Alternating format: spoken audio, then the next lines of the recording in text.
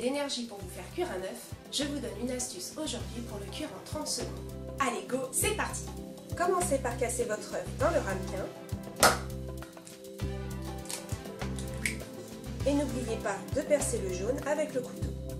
En fonction de la puissance de votre micro-ondes, mettez-le 20 à 30 secondes.